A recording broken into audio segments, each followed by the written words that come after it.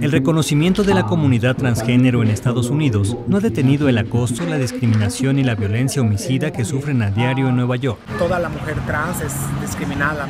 La mujer trans de color, ¿verdad? No es bien recibida como, como una mujer blanca o como un hombre trans, ¿verdad? Este, es, es, es, un, es como se dice, un doble estándar.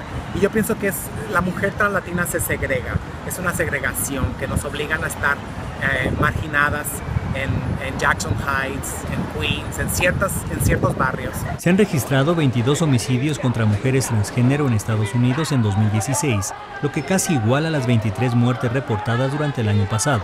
La gran mayoría de estas muertes son de afroamericanas o latinas. Bueno, pues básicamente este año nosotros hemos tenido bastante, eh, bastantes ataques homofóbicos, transfóbicos aquí en el área de Jackson Heights, Queens. Eh, hasta el momento tenemos registrado más de 14 eh, casos, más otros que no quieren ser reportados por lo mismo.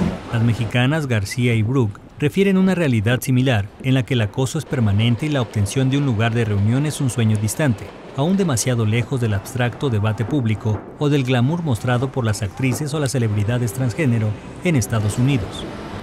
Con información e imágenes de Mauricio Guerrero, corresponsal en Nueva York, Notimex.